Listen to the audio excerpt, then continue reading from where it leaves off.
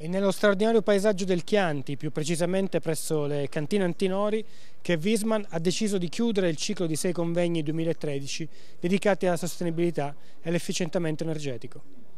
Domotecnica presso i convegni di Wiesmann propone questo concetto eh, che ha ben poco di rivoluzionario nella teoria ma nella pratica è molto molto nuovo di arcipelago green. Eh, nella sostenibilità eh, bisogna utilizzare diverse tecnologie, diverse energie, è fondamentale il mix di tecnologie e energie per creare un sistema di efficienza energetica. Non bastano le tecnologie ma servono anche i mix di competenze. Progettista, architetto e installatore devono assolutamente trovare un dialogo, trovare linguaggi comuni e strumenti comuni.